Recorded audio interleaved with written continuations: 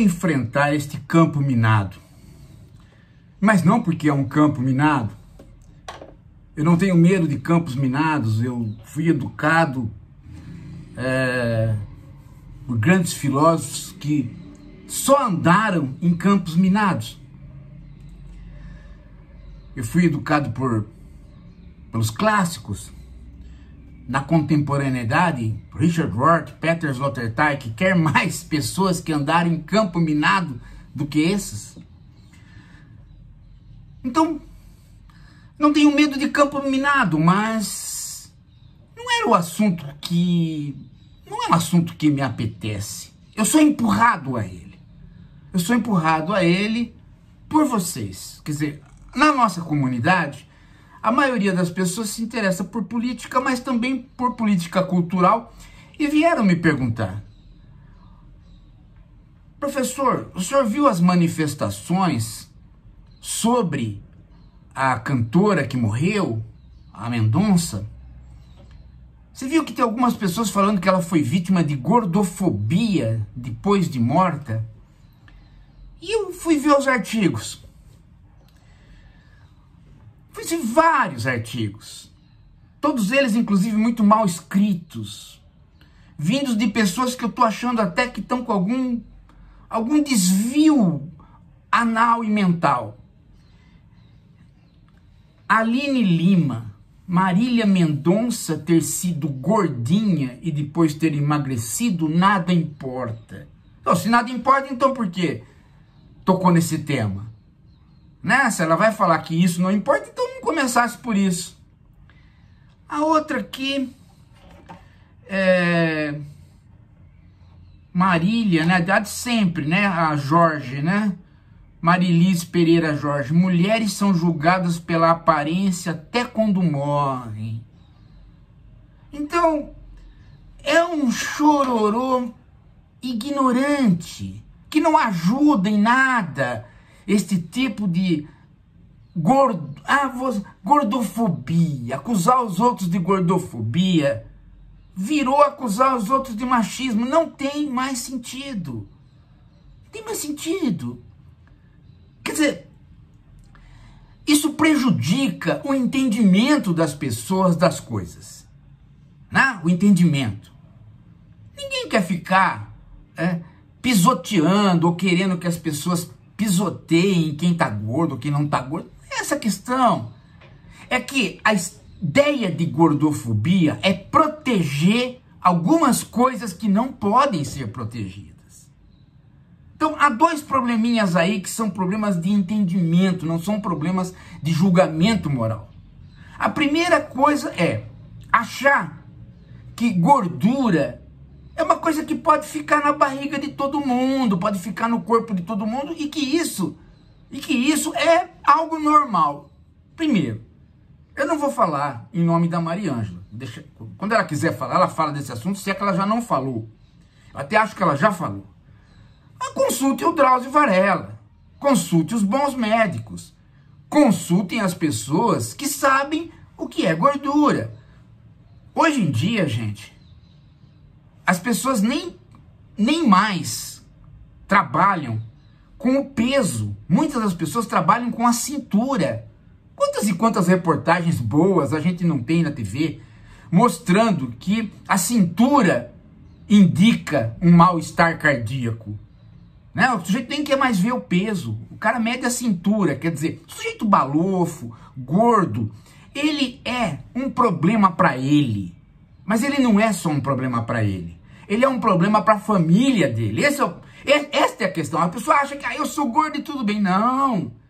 Você é gordo, tudo bem? Não. Você morre, teus filhos ficam aí. Tua esposa fica chorando. E você, mulher, que está começando a ficar com a barriga grande igual o homem de cerveja, o que, que você quer? Você quer ter uma barriga maior que os seios? E ficar doente? Essa é a questão particular. As pessoas acham que a vida delas é só delas. Não é a vida da família e é da sociedade. Por quê? Porque pessoas que todo dia estão doentes por conta de gordura, por conta de serem balofas, por conta do nosso peso médio ter aumentado assustadoramente por conta de uma alimentação que vem de um capitalismo fora de propósito, porque nós comíamos arroz, feijão, nós comíamos bem e passamos a comer como americanos e engordamos e tá aí a criançada toda obesa e a, ai, a criancinha, ela tá obesa, não, ai, que bonitinho, né? Não pode falar contra ela porque é gordofobia. E aí a criança, aos oito anos, começa a ter problema de pressão, né? Tá, é o fim do mundo, gente. Aí o sujeito acha que a sociedade tem que pagar para ele existir gordo. Ele vai no SUS, tira o leito de outros, porque ele simplesmente é gordo. Eu sou gordo, tem que me aceitar assim. Não, não tem que te aceitar assim. E não vem com esse papo de gordofobia. Tenha responsabilidade social. Primeiro você e sua família. Se você fica doente, a tua família paga o preço. Segundo você e a sociedade, se você vai todo dia no SUS por uma coisa que você poderia evitar, e você não evita porque simplesmente você é um desleixado, você está errado. Ter responsabilidade social é não ser desleixado individualmente para não ocupar o lugar dos outros com coisas que eles não podem controlar. O sujeito que está com câncer, o sujeito que está com uma, uma doença que ele não pode controlar, e você vai lá com uma coisa que você poderia controlar e tira o lugar dele, você não tem consciência? E você vem falar que é gordofobia? Não, não, não, não. Não, não, não. Você, você, você está começando a ser uma pessoa que não está entendendo a vida em sociedade. Então, esse é o fato, gente. Nós subimos de peso, engordamos, nós comemos mal e estamos gordos. O que significa isso? Adoção do padrão americano. Quando o Bill Clinton começou a passar mal, na, eh, ele já estava na presidência, ele começou a passar mal. O que, que fizeram com ele? Contrataram um cozinheiro brasileiro para o cara dar arroz, feijão, tomate, cenoura. E ele melhorou. Então, gente, sabe? Então, esta é, é uma questão que eu não quero discutir, porque eu não, não, não, é, não é o campo de eu ficar me metendo na medicina, mas, né, eu sei um pouquinho de como se cuidar. Bem, agora, tem um outro ponto, este eu sei. Este eu sei que é a questão da relação entre as pessoas que se apresentam publicamente e o aspecto físico delas. Então, primeiro, ah, porque existe um padrão da mídia que escraviza as pessoas. O quê? Padrão da mídia que escraviza as pessoas? Alcione é magra? Clara Nunes era esbelta? Hã? Hã? Peraí, não escutei, não escutei. Respondam. Não, não consegue responder. Né? Tim Maia era um chuchu. Ah, não pode falar de homem, só mulheres. Ah, entendi. Só as mulheres são, são obrigadas oh, a terem um padrão de beleza. Quem que tem padrão de beleza, gente? Quem que tem padrão de beleza? A mídia trabalha com o espetáculo o espetáculo pode ser qualquer um, contanto que ele te chame atenção. Meu Deus do céu. Agora, você não pode cobrar de uma cantora aspectos físicos só porque ela canta, ela não canta no rádio, meu amigo. Eu vou te contar uma coisa que você ainda não sabe, você que cobra dos cantores uma postura uh, exclusivamente vocal. Eu vou contar uma coisa para você. Inventaram um negócio fantástico chamado televisão. É. Faz, faz um pouco tempo. Você não ficou sabendo ainda? É, televisão. Ela apresenta a imagem do cantor. Exatamente, dentro da sua casa. E depois, olha, nem vou contar para você. Tem um negócio chamado internet. Esse então é pior. Mas não vou explicar para você do que, que é, tá? Mas eu vou contar uma coisa para você uh, os artistas, mesmo os que cantam, eles não cantam com a voz, eles cantam com o corpo. Eles já faziam isso, só que eles eram menos vistos. Agora eles são mais vistos por conta dessa coisa que você não descobriu ainda, né? A Marilisa, ela não sabe que existe a, a televisão. Então, os artistas, eles cantam eles dançam, eles se apresentam. É, eles se apresentam. Né? Então, eles são, antes de tudo, corpos, até porque a fala, ela é um som. O som sai da garganta. Da garganta. Entendeu? É o corpo que está ali. Então as pessoas já há bastante tempo, né, elas não escutam mais uma voz perdida no universo. Elas escutam, elas veem, elas sentem, elas querem tocar o corpo. Quando Elvis Presley morreu, ele era homem. É, o Elvis Presley era homem. Você vê que coisa? Ele era homem. E cobraram dele exatamente. Fizeram uma várias, várias biografias do Elvis começam dizendo: Elvis morreu lutando contra o peso. Por quê? Porque ele tinha os quadris, ele foi o primeiro a mexer os quadris no sentido sensual.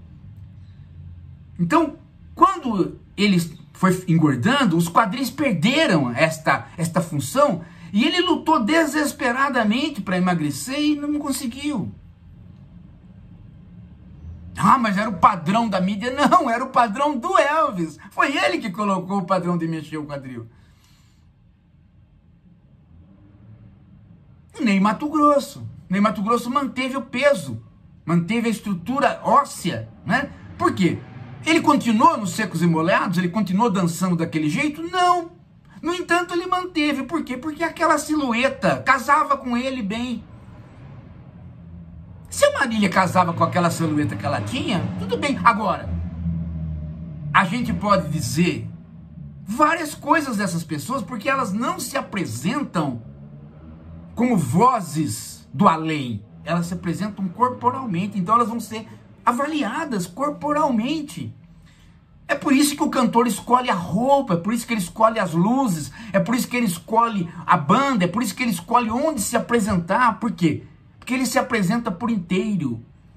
Vocês não lembram de um programa do Faustão, onde o Faustão imita os americanos, o artista completão? O que é o artista completão? Ele canta, dança, ele interpreta, né?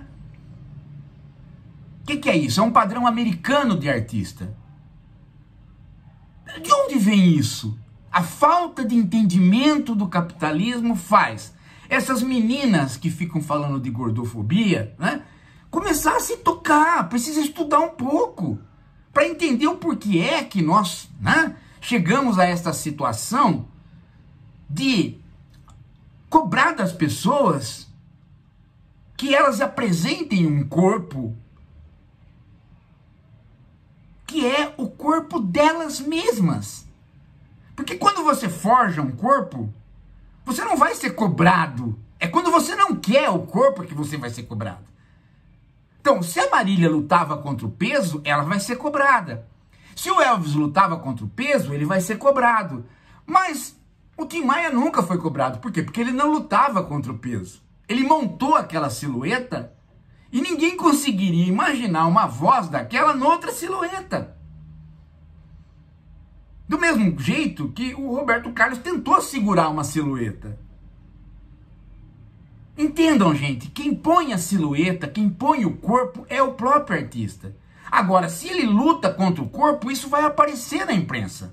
Agora, se ele aceita o corpo e monta o corpo segundo a voz, as pessoas vão, vão cobrar aquele corpo dele. Isso tem mais. Um dia o Jô Soares, apaixonado, não sei por que mulher, mulher que ele estava apaixonado, eu não acho que não foi a Cláudia Raia. Ele ficou desesperado por causa da mulher e ele resolveu emagrecer. E o Jô cortou a, um pedaço do intestino tal, fez regime, emagreceu. Quando ele emagreceu, a audiência dele caiu assustadoramente como, como, como humorista, embora ele continuasse sendo um brilhante escritor eh, de peças e um brilhante program, uh, produtor e diretor. Mas ele perdeu como humorista, ele voltou a engordar depois. E ficou de novo o Jô Soares, do vivo gordo, do a, vivo gordo abaixo regime. Ele brincava com a gordura dele. E brinca até hoje. Então, gente como o Jô Soares, que lutou contra a gordura por uma paixão e depois voltou. É, é, é, é isso, isso é ser gente. Isso é ser gente. E o Jô sempre se chamava de eu, o gordo, né? Às vezes ele brincava, oh, o gordo burro que eu sou, né? Por quê? Porque ele lutou contra o corpo, mas isso ele sabia que lutar contra o corpo, voltar aí, voltar, fazia parte do Jô Soares. Ou seja, faz parte da, da, da, da, do artista se apresentar. Agora, o artista que não se apresenta não vai ser, não vai ser avaliado. Você tem três tipos de situação. O artista que se apresenta e deixa com que todos saibam da vida dele. O artista que se apresenta e todos sabem da vida dele, mas ele monta o corpo antes e, e, e, e conforma a voz ao corpo. Né? E o artista que tem fãs burros, que acho que é o caso da Marília Mendonça, né? Que tem muito fã burro. Por quê? Porque fica cobrando que não se fale do corpo dela. Ué, ela era gordinha, lutou contra o corpo, qual o problema? A gordofobia. Não, simplesmente uma observação, gente. Simplesmente uma observação. Uma moça que não estava contente com o corpo dela, que queria se apresentar de outra maneira, mas, mas, ao mesmo tempo cantava bem. Agora, fazer essa descrição é gordofobia? Ora, gente. Agora, tem um detalhe nisso tudo, né? E agora que eu quero chamar a atenção para o principal do vídeo. Gente, o espetáculo não é um espetáculo do artista. Nós não vivemos na sociedade do espetáculo por conta da TV, da internet. Não é isso. O espetáculo é o espetáculo da mercadoria. É ela que cria a sociedade do espetáculo porque é ela que se põe como tendo vida própria. E a hora que ela tem vida própria, ela vai gerando uma sobreposição de vidas. E essa sobreposição de vidas vai ganhando simbolismos. E você vai tendo então uma profusão de imagens a respeito da mercadoria. Chega uma hora que as imagens já nem falam mais da mercadoria. Elas falam de um mundo onde essa mercadoria poderia estar. Você pega uma uma propaganda da Coca-Cola, ou da Chevrolet, ou do tênis Nike, você vai ver que a própria mercadoria aparece pouco. É muito mais o ambiente, o simbolismo, a marca num ambiente. Por quê? Porque a profusão de imagens escapou da imagem viva que já era a imagem da mercadoria. Isso se chama o fetiche da mercadoria. É quando a mercadoria, por estar separada de quem produziu e por conter trabalho humano nela, e por isso ela ter valor, por conter trabalho humano nela, ela cria um fantasma. Ela cria vida.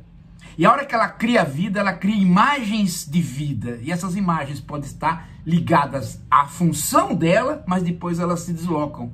São imagens onde há o ambiente dela. De modo que se enfia uma ética, uma vida na mercadoria. Em determinado momento a mercadoria não importa mais. A Chevrolet não importa mais, o tênis Nike não importa mais, o gosto da Coca-Cola não importa mais. O que importa é a imagem de mundo que ela forma. Então, artistas e políticos, todos que se apresentam neste mundo da mercadoria, eles têm que caminhar dentro desta situação criado pela mercadoria. Eles têm que formar um mundo. E este mundo tem que ser harmônico. Por quê? Porque neste mundo harmônico há o nicho das pessoas que não precisam nem consumir o produto, elas precisam consumir a marca. Então, este nicho tem que estar harmônico. Então, o Jô Soares, ele era gordo, ele ficou magro, ele saiu do nicho dos gordos e ele perdeu a graça. Ele teve que voltar ao nicho dos gordos, porque ali ele tinha criado a marca Jô Soares. Então, Tim Maia era um homem grande que andava com vozeirão e gordo. Se ele emagrecesse, não era mais o Tim Maia, ele teria que voltar ao nicho criado pelo símbolo, pela propaganda, pelo visual Tim Maia. Vocês já perceberam que algumas mercadorias nunca trocam de garoto propaganda porque elas têm medo que se trocar do garoto propaganda, elas perdem a identidade? Garoto Bombril envelheceu fazendo a propaganda, por quê? Porque não podia trocar. Se trocasse o próprio Bombril, a marca e não o, o, o, produto, perderia a identidade, perderia o nicho. As pessoas já estavam esperando no Bombril o garoto Bombril. As pessoas, quando iam ao teatro, queriam ver o gordo Jô Soares, não o magro. O magro não era o Jô Soares. Agora, a Marília Mendonça tinha só 26 anos, então ela não tinha ainda conformado o corpo com a voz. Ela estava lutando para adquirir uma silhueta. Estava em formação. Então é claro que as pessoas vão comentar isso. O mundo da mercadoria, que criou a sociedade do espetáculo, cria o padrão dos espetáculos. E o padrão dos espetáculos não é ser gordo ou ser magro, é ser harmonioso com o sistema que você criou. Você não pode de maneira nenhuma abandonar esse sistema. Reparem como os cantores de sucesso, os artistas de sucesso, eles têm um nicho. Ah, eles têm um nicho, eles criam um ambiente para eles. Eles criam um ambiente para eles que permite com que eles possam ir de tanto a tanto. Alguns autores, alguns artistas, inclusive, nem querem fazer certos papéis para não ficar presos ao nicho criado pelo papel. Por exemplo, tem muita gente que não quer nem ouvir falar em fazer o Batman, porque vai ficar com cara de Batman. Mas tem muita gente que fala, não, eu enfrento essa situação. Eu entro no mundo Batman e depois consigo sair. Mas ele sabe que existe um mundo Batman. Do jeito que existe o um mundo Bombril, do jeito que existe o um mundo Nike. Esta criação de mundos que a mercadoria permitiu atingiu os políticos e os artistas. Veja como as pessoas cobram dos políticos. Você não estava num partido, você não era social-democrata, agora você é liberal. Por quê? Né? Cobram. Cobra-se que se esteja num nicho onde você se conformou, onde você educou aquela, aquele público para tal. E isto não é da sua cabeça, não é da sua vontade, não é do seu desejo. É o modo como a mercadoria organizou o nosso espetáculo. Então as pessoas procurarem qual o nicho da Marília Mendonça. Ah, ela ainda não tinha. Ainda era só a voz. O corpo ainda não estava adaptado à voz. Ela não tinha montado ainda um, uma, uma característica de Marília Mendonça uh, artista. Ela estava só como Marília Mendonça cantora. Aí o sujeito não entende isso. Não tem estudo sobre o capitalismo. Gordofobia, é gordofobia. Ora, ó, frajola para vocês, tá? A burrice tem limite também. Pelo amor de Deus, né? É isso. Dá o like, passa para frente esse vídeo. Né? E quem não gostar desse vídeo, dá o dislike. Mas. Seja inteligente, vai. Que essa Marília, essas outras. Isso tá, isso essa Marília, não, essa Marilis, está enchendo o saco da gente esse negócio de gordofobia. Tá enchendo o saco. É não, é não entender nada, né? Daqui a pouco a gente volta.